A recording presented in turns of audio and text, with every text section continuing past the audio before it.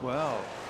A portare in alto il nome del nostro paese nel mondo tra i tanti talenti sportivi italiani, tra l'altro non certo facendolo in maniera banale, è stata la fiorentinissima classe 93 Martina Trevisan, che dopo aver vinto tutti e tre i turni di qualificazione agli Australian Open di tennis 2020 è riuscita a raggiungere la storica partecipazione allo slam per la prima volta in carriera, uscendo poi nel primo turno del torneo contro una durissima avversaria. Le qualificazioni sono state tre partite e il quarto è stata appunto la Kenin. Diciamo che era un ostacolo molto grande, però me la sono giocata, mi sono divertita e sono stata molto felice di, di aver condiviso il campo insieme a lei. Un risultato, quello di Martina, che vale tantissimo e che ripaga anni, grandi sacrifici e di una vita tennistica vissuta tra alti e bassi, anche con delicate vicende extracampo. È stato un momento difficile della mia vita in cui no- non stavo più bene all'interno del campo da tennis e a farlo in quella determinata maniera, quindi avevo bisogno di allontanarmi per... eh,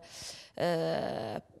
per- ho ascoltato me stessa, ecco, per stare meglio dentro di me. Un vero e proprio riscatto, insomma, una rivincita, quella di Martina Trevisan, prima di tutto con se stessa, dopo la decisione di smettere nel 2010, quella di tornare più forte di prima e adesso che davvero sembra che non ci siano limiti alle chance future dell'atleta fiorentina, chissà, vista anche la giovane età, dove potrà arrivare. Oggi chi è e cosa vuole Martina Trevisan?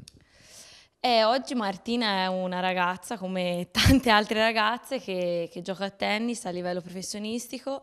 e dopo un periodo di difficoltà vuole riprendere quello che aveva lasciato e quindi cercare di entrare tra le prime 100 giocatrici al mondo.